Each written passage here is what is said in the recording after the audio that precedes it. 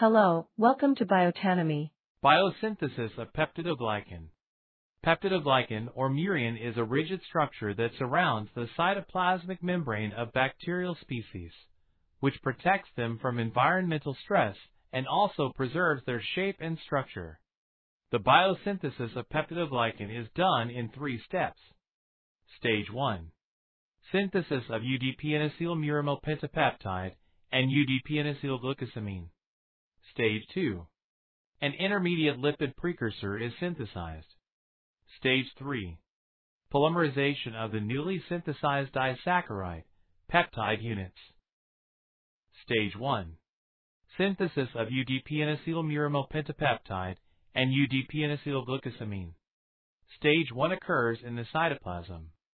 In this stage, the nucleotide sugar-linked precursors like UDP-N-acetyl pentapeptide and UDP-N-acetylglucosamine occur, as given in the following pathway.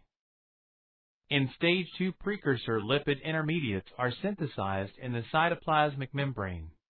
The phosphorylacetyl pentapeptide derived from UDP-N-acetyl pentapeptide is transferred to a plasma membrane acceptor named bactoprenol.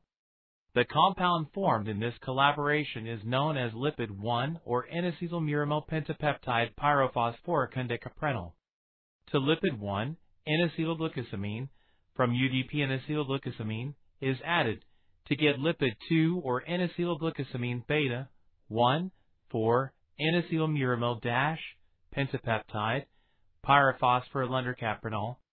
Lipid 2 is the substrate of the polymerization reaction to form peptidoglycan. With the help of the bactoprenol molecule, the lipid 2 is transported to outside the cell membrane. Stage 3 polymerization of the newly synthesized disaccharide, peptide units. Now, the final stage of peptidoglycan synthesis will occur in the outer side of cytoplasmic membrane. In this stage, transglycosylation and transpeptidation reaction will occur with the help of penicillin-binding proteins. During transglycosylation, the reducing end of N-acetylmuramic acid is transferred onto the C4 carbon of the glucosamine residue of the lipid-linked peptidoglycan precursor, along with the release of undercaprenol pyrophosphate. These released undercaprenol pyrophosphate are then dephosphorylated back to the bactoprenol lipid carrier. Next, the transpeptidation will occur by releasing terminal D alanine from one stem of the peptide to form an enzyme substrate intermediate, releasing the energy necessary for the transpeptidation reaction. Then the peptidyl moiety is transferred to the non-alpha amino group of the dibasic amino acid in the second stem peptide. The process continues until the cell wall is completed.